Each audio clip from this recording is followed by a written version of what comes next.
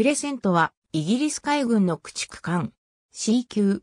後にカナダ海軍駆逐艦フレーザーとなった。1930年12月1日寄港。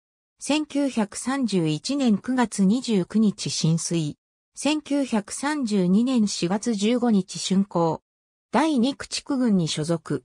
1932年7月21日、駆逐艦コメットと衝突。第二次エチオピア戦争の最高会へ派遣される。1936年10月にカナダへ売却され、1937年2月17日にカナダ海軍で収益。1939年8月31日までカナダ西岸に配備される。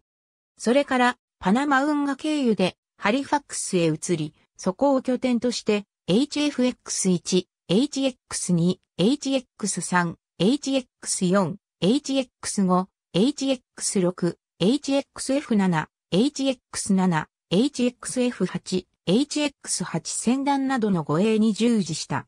1939年11月14日、特設総海底ブロスドールと衝突。12月4日まで修理に要した。修理完了後も TC1、TC2、HXF15、HX15、TC3、HXF17、HX17、TC3、HXF17、HX17、HXF20、HX20、HX23 戦団の護衛などを行った。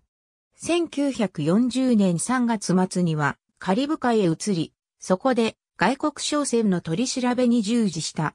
1940年6月、フランス南西部からの撤退作戦に参加。